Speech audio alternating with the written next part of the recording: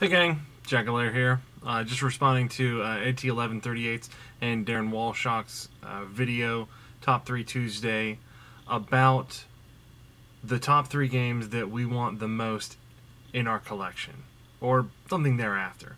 Now, there were a few cheats that I was going to go with. Decided to just go with straight up video games that I want back in my collection. Number one, starting out with uh, Killer Instinct Gold.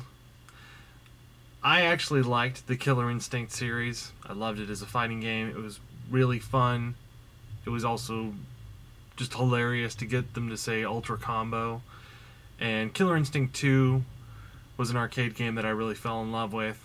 Wanted to play it more and more and more. But it never got a home release. The best we got was more Killer Instinct Gold. So, that's number three.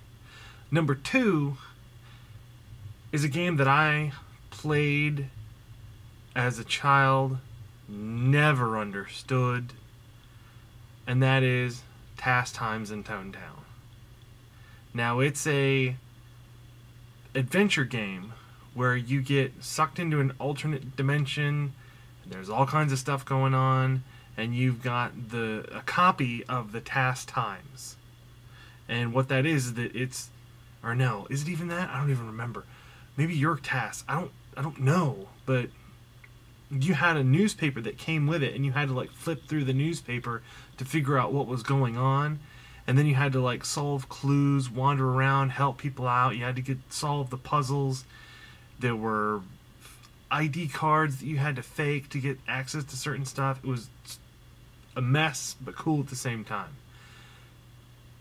so that's number two number one is the game that I have been hunting for, and I I found it online, but it's a tad pricey. It's not some great, wonderful game. It's just a game that I remember playing and I remember loving, and that is Warsong for the Genesis. Forgot to mention Tass Time for Tonetown. The version I played was the Commodore 64 version because that's what I had back then. Now, back to Warsong. For those who don't know, it's called another name uh, in the Japanese release, and there were apparently many of these uh, in Japan. But essentially, what it was is you were in charge of different units. You would move the units around the map, and whenever the units would come in contact with other enemy units, there would be 10 guys on each side and like let's say we've got knights over here and we've got archers over here.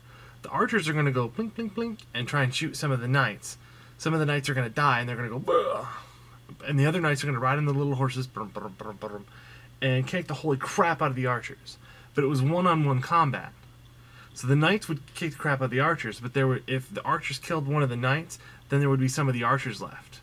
And then you would be able to go round to round now, also on the big world map, if your archers were, say, up a hill, then the knights wouldn't do as much damage climbing up the hill, so they might not kill off as many archers.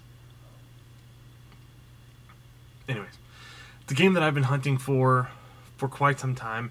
I haven't seen it in the wild. I've seen it on Amazon. I've seen it on eBay. But the price is just... I don't know.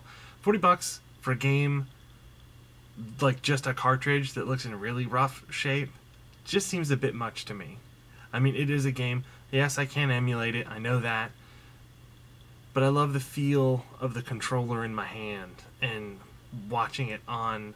I still have a CRT TV. I have two of them that I play games on just because that's what they were designed to be playing on. It would be kind of like someone saying, "Why, yes, you can you can emulate that Vectrex on your it wouldn't be the same. But uh, those are my top three, just to recap. Uh, number three, Killer Instinct Gold for the Nintendo 64. Uh, number two, Tass Times in Tonetown. It's just fun to say. And it was a great game. Came with a newspaper and everything. And it came out on a few different systems. I did some research, so I don't know what I would be able to play it on, if anything, now.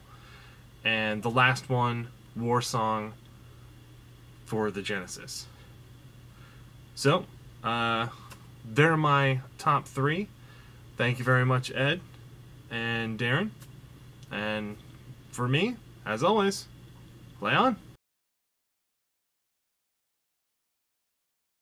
Hi, I'm a monkey. I'm looking at the blank thing with the doobie job so that we can make it not wide but short and